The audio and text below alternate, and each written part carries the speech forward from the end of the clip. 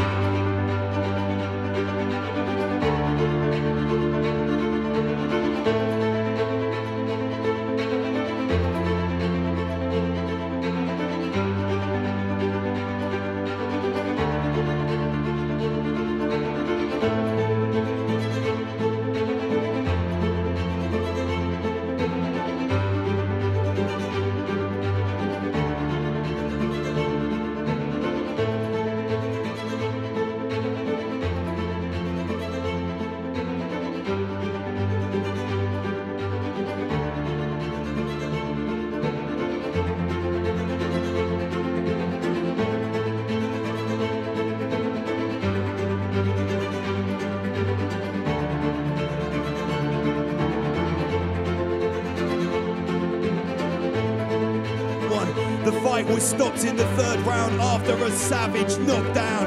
And the winner in the red corner, Dan Chapman!